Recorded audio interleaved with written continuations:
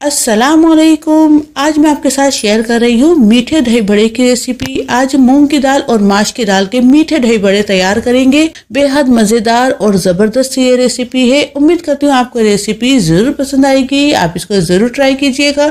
अगर रेसिपी आपको अच्छी लगे तो प्लीज़ लाइक शेयर सब्सक्राइब करना बिल्कुल भी मत भूलिए। साथ ही घंटी का बटन वो भी दबा दीजिए ताकि मेरी तमाम आने वाली वीडियोस फौरी मिल सके।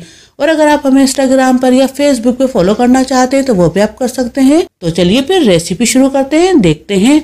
मीठे दही बड़े बनाने के लिए हमें किन किन चीज़ों की ज़रूरत पड़ेगी? बिस्मिल्लाह रहीम यहाँ पर हम दो किस्म की दालें लेंगे।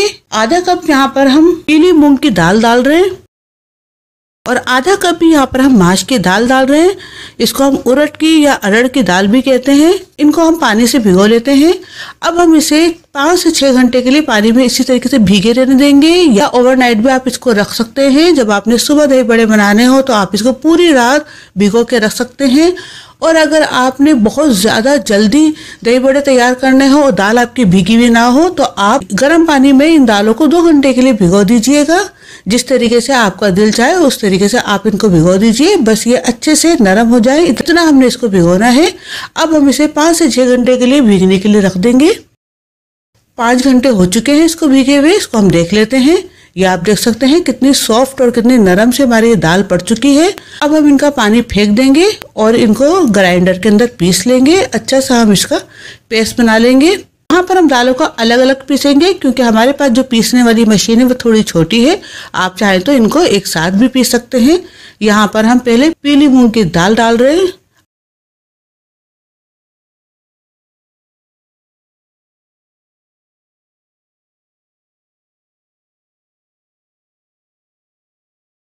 अब इसमें हम थोड़ा सा पानी डालेंगे। दो से तीन चमचे के बराबर हमने इसमें पानी शामिल कर दिया ताकि ये आसानी से पीस जाए। अब हम इसे पीस लेते हैं। यह हमने दाल को पीस लिया, इसको हम निकाल लेंगे। अब हम दूसरी दाल भी इसी तरीके से पीस लेंगे।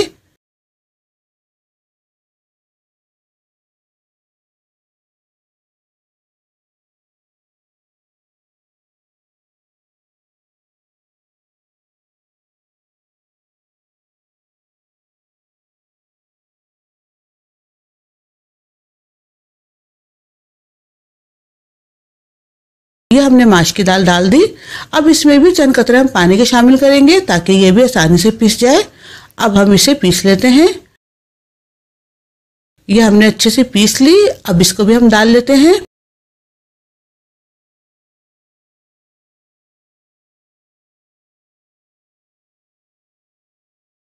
अब इसके अंदर आधा छोटा चमचा नमक का शामिल कर रहे हैं। और आधा छोटा चमचा ही यहाँ पर हम अजवैन शामिल कर रहे हैं। अजवैन हमारे हाजमे के लिए बहुत अच्छी है। दही बड़े जब हम खाएँगे तो वो हजम करने में बहुत अच्छी मदद देगी ये। अब हम इसे अच्छे से मिक्स कर लेंगे। आप चाहे तो इसको चमचे की मदद से भी मिक्स कर सकते हैं। लेकिन इसको मिक्स करने का, फेंटने का सबसे अच्छा तरीका है हाथ। आप चमचे को हटा के इसको हाथ से अच्छे से फेंट लीजिए। और यहाँ पर मैं आपको एक टिप बताती हूँ। जब भी आपने कोई सा भी बेटर फेंटना हो, चाहे वो दाल हो, चाहे वो दही हो, अंडे हो, कुछ भी आपने फेंटना हो तो आप सिमट एक ही रखिए। यानी कि एक ही सिमट के अंदर आप उसको फेंटते चले जाइए। यानी कि हाथ आप इधर उधर चलाइए मत। एक ही सिमट में आपने हाथ रख के इसको फेंटना है तो 10 मिनट का काम आपका पाँच मिनट में हो जाएगा। अब हम इसको जैसे जैसे फेंटते जाएँगे, इसका कलर चेंज होता जाएगा, यानी कि ये बिल्कुल व्हाइट हो जाएगा और साइज़ में भी हमारी जो दालें हैं, वो डबल हो जाएँगी और ठीक हो जाएँगी। अब देख लीजिए, इसको फेंटते हुए सात से आठ मिनट ही हुए हैं। ये दालें अच्छे से फूल चुकी है और हमने हाथ को एक ही साइड में रखकर इसको फेंटा है। या आप देख लें इसको जब मैं गिरा रही हूँ तो बिल्कुल भी नहीं गिर रहा है यानी कि ये हमारा बैटर बिल्कुल परफेक्ट तैयार हो चुका है ये अच्छे से फिट चुका है। इसको इस तरीके से भी चेक कर सकते हैं कि थोड़े से पानी के अंदर थोड़ा सा बैटर आप डाल के देखिए हमें कितना ज़्यादा हल्का हो चुका है कि ये जब हम इसके अंदर डालेंगे तो ये बैठेगा नहीं ये ऊपर तैरता रहेगा। जब हम इसको डाल रहे हैं तो ये नीचे बैठ नहीं रहा बल्कि ये ऊपर तैर रहा है यानी कि ये हमारा बैटर बिल्कुल परफेक्ट तैयार हो चुका है। अब इसके अंदर हम एक चमचा बारीक कटी हुई अदरक डाल रहे हैं। और एक छोटा चमचा ही यहाँ पर हम बारीक कटी हुई हरी मिर्च डाल रहे हैं। इससे टेस्ट बहुत अच्छा सा आएगा। अब हम इसको अच्छे से मिक्स कर लेंगे।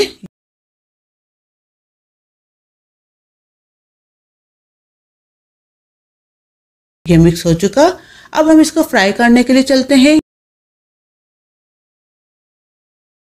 अब हम एक एक फुल्की करके इसमें डालेंगे।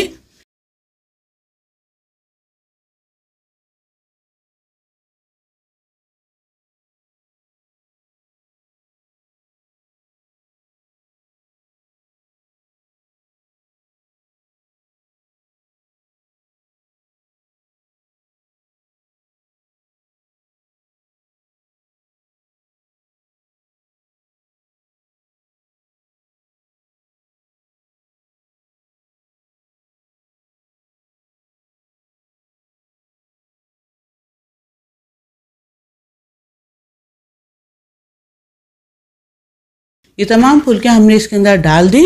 अब हम इसको अलट पलट करके फ्राई कर लेंगे।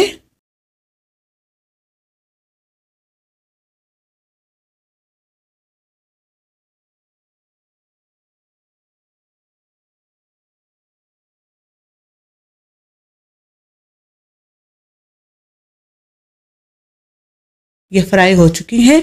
अब यहाँ पर मैं आपको एक बात बताती हूँ। अगर आपने इस वक्त इसको सेव करके रखना है तो आप इसको थोड़ा सा ठंडा होने के बाद किसी भी डिब्बे में या एयर टाइट शॉपर के अंदर सेव करके रख सकते हैं। आप इसको पूरा महीना सेव करके रख सकते हैं। ये बिल्कुल भी ख़राब नहीं होगी। यहाँ पर हमने इनको सेव नहीं करना, बल्कि फोरी फोरी बनाना है। इसलिए इसको हम बनाने के लिए चलते हैं।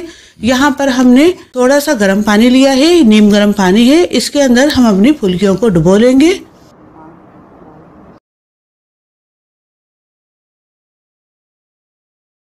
ये हमने फुल्कियाँ डुबो ली, अब इसके अंदर हम आधा छोटा चमचा नमक का शामिल कर रहे हैं। अब हम इसको अच्छे से मिक्स कर लेंगे। अब हम इसे 15 से 20 मिनट के लिए पानी में इसी तरीके से डीप करके रख देंगे, जब तक ये डीप हो रहा है तो हम इसके लिए दही तैयार कर लेते हैं। यहाँ पर हमने तीन कप के बराबर दही ली है अब इसके अंदर तीन चमचे हम चीनी के शामिल कर रहे हैं। चीनी आप अपने टेस्ट के हिसाब से कम या बढ़ती कर सकते हैं, जितना मीठा आपको पसंद हो। आधा छोटा चमचा यहाँ पर हम नमक शामिल कर रहे हैं। तो हम इसे अच्छे से मिक्स कर लेते हैं। अब यहाँ पर हमारा दही अच्छे से तैयार हो चुका है। इसको हम थोड़ी देर के लिए फ्रिज में रख देते हैं। फुल्कियों को रखे हुए पंद्रह मिनट हो चुके हैं। अब हम इनको निकाल लेते हैं। हम हाथों से इसको इस तरीके से अच्छे से दबा दबा के निकाल लेंगे।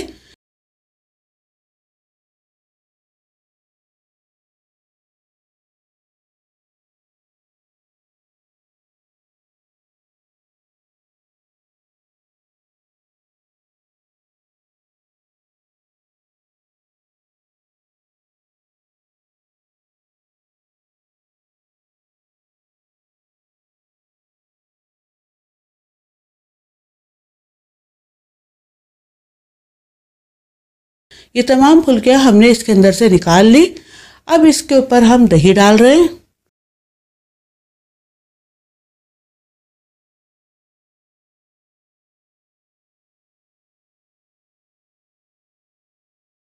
अब यहाँ पर हम दो किस्म की इसके ऊपर चटनियाँ डालेंगे। इसकी रेसिपी मैं आपको बता चुकी हूँ और इसका लिंक मैं डिस्क्रिप्शन में दे दूँगी। आप देख लीजिएगा। यहाँ पर हम सबसे पहले ग्रीन चटनी डाल रहे हैं। अब इसके ऊपर हम इमली की खट्टी मीठी चटनी डाल रहे हैं। बेहद ज़बरदस्त है, इसका टेस्ट है। ये हमने डाल दी। अब इसके ऊपर हम थोड़ा सा धे बड़े मसाला पाउडर डाल रहे हैं। इसकी रेसिपी भी मैं आपको बता चुकी हूँ। आप मेरी वीडियो में जाके देख लीजिएगा। अब ये हमारी मीठी दही फुल्की बनकर तैयार हो चुकी है। या आप देख लीजिए कितनी ज़बरदस्त सी, मज़ेदार से हमारी ये मूंग की दाल और माश की दाल की दही फुल्की तैयार हुई है। बिल्कुल ये बाज़ार वाले स्टाइल से तैयार हुई है। उम्मीद करती हूँ आपकी रेसिपी ज़रूर से पसंद आएगी। आप इसको ज़रूर ट्राई कीजिएगा। अगर रेसिपी आपको अच्छी लगे तो प्लीज़ लाइक, शेयर, सब्सक्राइब करना बिल्कुल भी मत भूलिए। साथ ही घंटी का बटन है वो भी दबा दीजिए ताकि मेरी तमाम आने वाली वीडियोस फौरी मिल सके। और अगर आप हमें इंस्टाग्राम पर या फेसबुक पर फॉलो करना चाहते हैं तो वो भी आप कर सकते हैं। इजाज़त दीजिए दुआ में याद रखिएगा। अल्लाह हाफिज़।